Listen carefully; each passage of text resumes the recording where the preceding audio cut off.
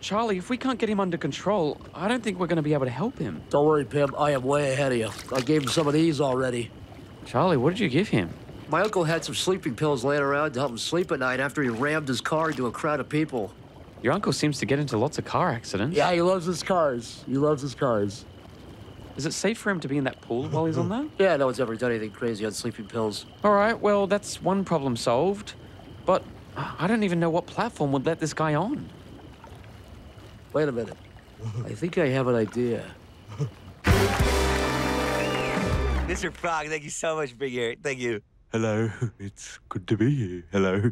So, so we've been friends for a long time, and we, which is which is why it's been so tough to see you go through all this.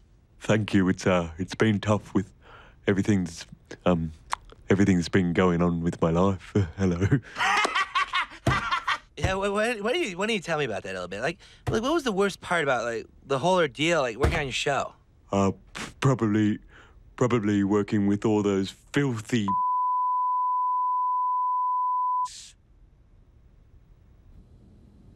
Um, that was, uh, that was really bad.